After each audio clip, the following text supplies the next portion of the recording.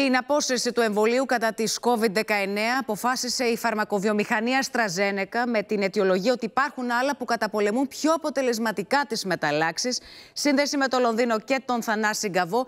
Η απόσυρση της Θανάση είναι ένα πράγμα. Ένα δεύτερο είναι η χρονική συγκυρία, διότι είχαμε την προγενέστερη παραδοχή της εταιρείας ότι το εν λόγω εμβόλιο προκαλεί επιπλοκές.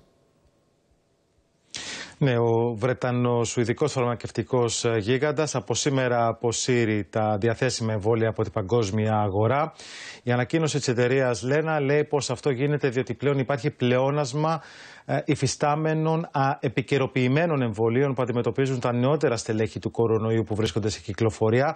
Ούτως ή άλλως, το συγκεκριμένο εμβόλιο που ονομάζεται Vax Zevria δεν παρασκευάζεται. Έχει σταματήσει εδώ και καιρό η παρασκευή του, διότι στόχευε το αρχικό στέλεχος του κορονοϊού.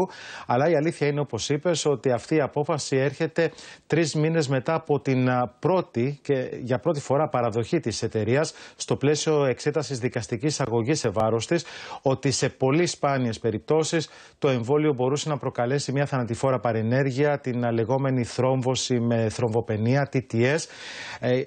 81 θάνατοι εδώ στη Βρετανία έχουν αποδοθεί σε αυτήν την παρενέργεια από το εμβόλιο. Η εταιρεία στην ανακοίνωση λέει επίσης ότι μόνο στο πρώτο έτος της πανδημίας, ανεξάρτητες έρευνες λένε ότι το εμβόλιο έσωσε περίπου 6,5 εκατομμύρια ζωές, ενώ συνολικά χορηγήθηκαν σχεδόν 3 δισεκατομμύρια δόσεις, κυρίως εδώ στο Ηνωμένο Βασίλειο και στην Ινδία. Σε ευχαριστούμε Θανάση.